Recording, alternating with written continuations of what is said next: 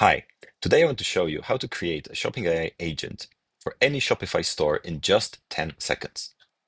I chose this Lady Gaga merchandise store, and all I need to do is paste its link and hit send. And what is happening right now is that AI is checking out the store to create a branded experience, branded conversational experience. Here you can see the logo, the name, and the color of the shop have been adjusted to Lady Gaga style. So let's start with uh, what kinds of products are you selling?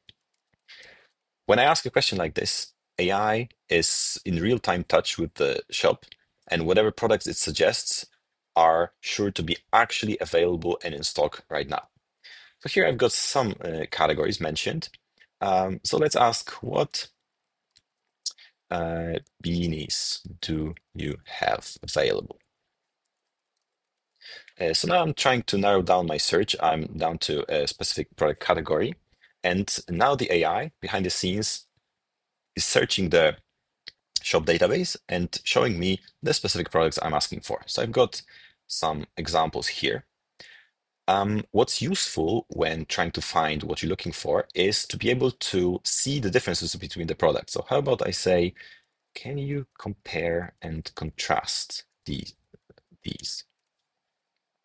Now the AI is asked to create a little summary that is useful useful for me to, to choose the product I'm looking for. And it does this in the form of a nice table, which shows me exactly which features are common and which are different between the products.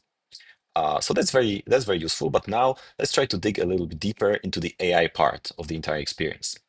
Um, let's say uh, we would like to get the AI to try and get to know me a little bit better and try to interpret what I'm looking for uh, in a more abstract way. So what if I say, what are the funniest t-shirts in store?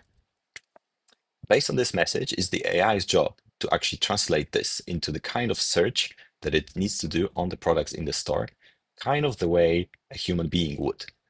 Um, so let's say, what are the t-shirts that it chooses and what kind of justifications it uses for um, for its choices. So if we look at the final one, uh, you can see that the justification is that the, the, the t-shirt says they can't scare me if I scare them first, which kind of makes sense. Um, okay, so let's now try to complete a purchase. Um, I'll take the third one, which is which is the green one here. Um, so now uh, the AI is trying to help me to actually complete the purchase, but I need to choose uh, which size I'm looking for. So let's do size M um, to be able to say which specific product type I actually want. So now what the AI does is it actually tells me straight to the checkout where I can just click and see a cart with the specific product that I chose in the right size, uh, and I can go straight to uh, payment. So uh, thank you very much for watching. Uh, it was great to show you how you can create a Shopify store for any uh, uh store in just 10 seconds uh, and show you how AI can recommend you products, guide you through the experience, and take you all the way to the checkout page. Thank you so much.